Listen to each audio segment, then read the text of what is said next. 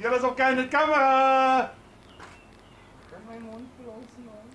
Gesel, jy is die naaste, jou fokus is uit. Ek sien so. Kom hier aan dit. Kan jy net 'n bietjie vriendeliker lyk?